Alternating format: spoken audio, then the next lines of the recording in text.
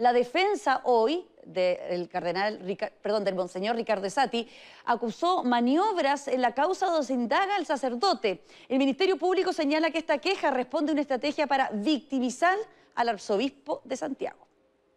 La seriedad de la defensa nos obliga a estudiar todos los antecedentes.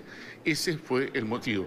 Se trata de contaminar con otras causas.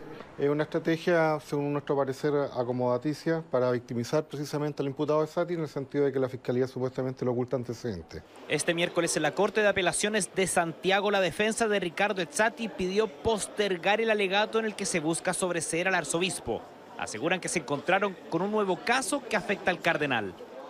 Se trata de una querella presentada en contra del sacerdote Tito Rivera y contra todos quienes resulten responsables del presunto encubrimiento de una violación que habría ocurrido en la Catedral de Santiago, causa que se sumó a la indagatoria de Tzati. Sí, y ustedes, ustedes, van, a, pagar todo van a pagar, Jorge León López increpaba en Rancagua al secretario general de la conferencia episcopal Fernando Ramos, que llegaba a declarar como testigo.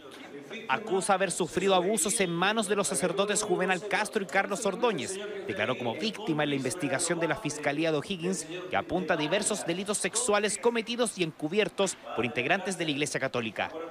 ¿De qué forma puedo yo hacer justicia si la misma iglesia sigue encubriendo a los que sacó?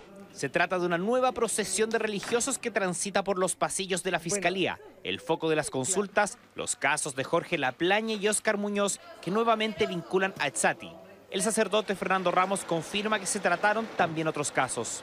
De los casos de Óscar Muñoz, Jorge Laplañe, y de algunos otros casos de Santiago. me dijeron que la investigación es reservada y mantendré ese tenor.